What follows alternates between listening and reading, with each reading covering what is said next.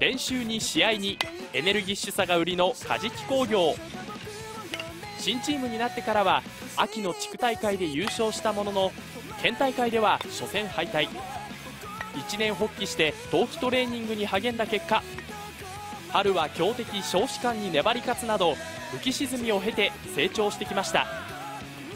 打力があって守備でも守り勝つ野球ができるようになっているところが強みだと思います。先輩たちと一緒に甲子園を目指せなかったのが悔しかったんですけど、まあ、その思いまで引き継いで頑張っていきます。